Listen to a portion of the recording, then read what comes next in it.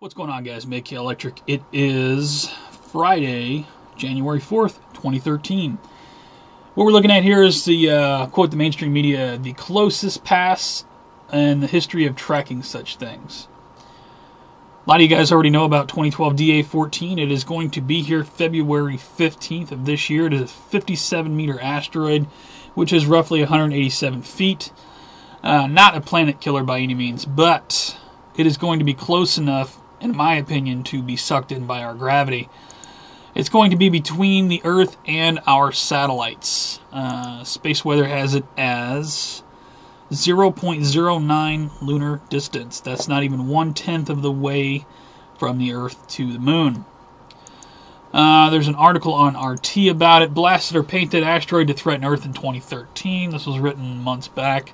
I did a video on this months back. This is just kind of a follow up with the NASA JPL data uh, to avert a possible catastrophe, this time set for February 2013. Scientists suggest confronting asteroid 2012 DA14 with either paint or big guns.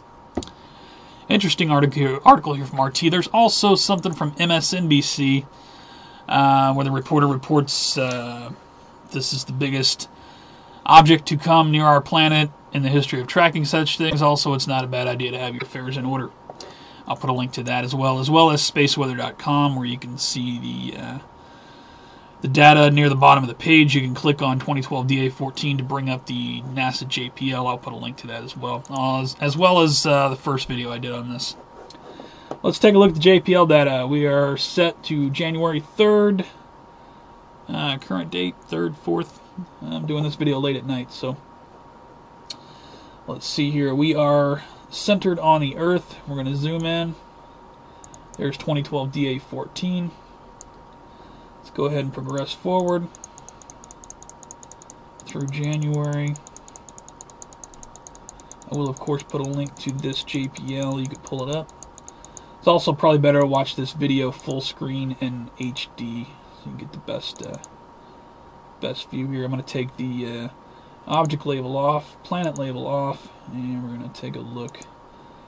February 15, as you can see, another one of those that you can't pull apart. Breaks the ecliptic just about evenly with our planet. Now, as it's reported, it's not supposed to hit the planet, however, it is going to be passing between our planet and our satellites. That's not very far up there, folks. So, I'm zoomed all the way in here. If you pull it up on your computer, you could probably uh, probably get a better view of it than I'm giving you here. As you can see, the ecliptic is level with our planet. We've had a lot of these in the past couple years. A lot of close calls. This will be another one.